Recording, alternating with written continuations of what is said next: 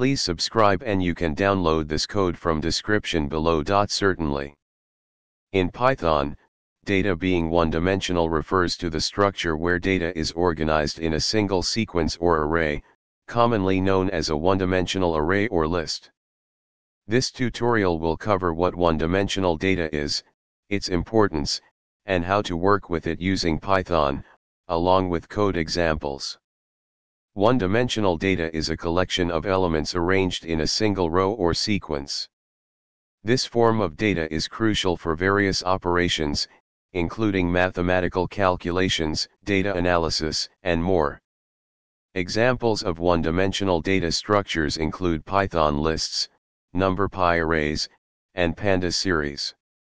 In Python, lists are a versatile data structure that can hold elements of different data types.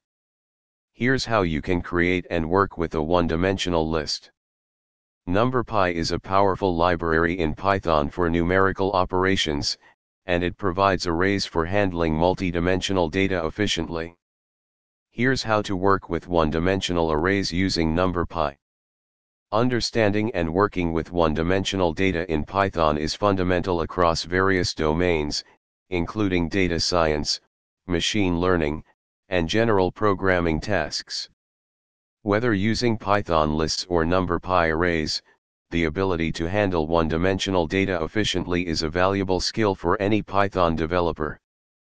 ChatGPT Title, Understanding and Handling One-Dimensional Data in Python Introduction In data analysis and machine learning, working with data is a fundamental aspect.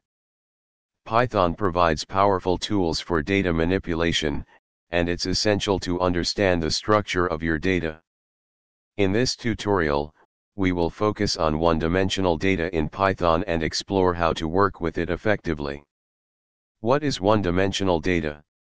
One-dimensional data is essentially a sequence of values arranged in a single line or row.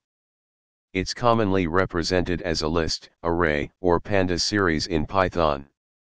Examples of one-dimensional data include time series, stock prices, or any single sequence of values.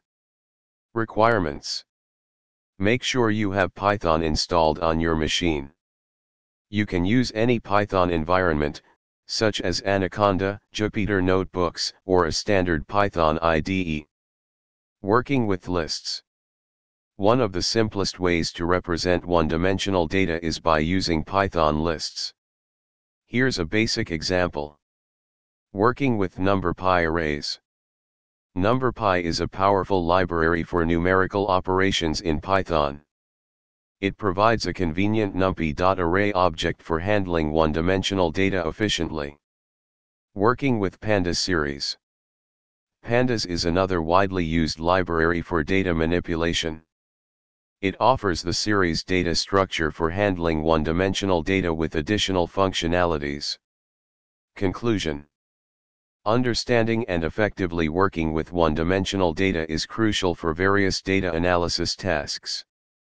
Python provides several tools, including lists, NumPy arrays, and pandas series, to manipulate and analyze one-dimensional data efficiently. Whether you're dealing with time series or any other single sequence of values, mastering these techniques will enhance your data analysis capabilities in Python. ChatGPT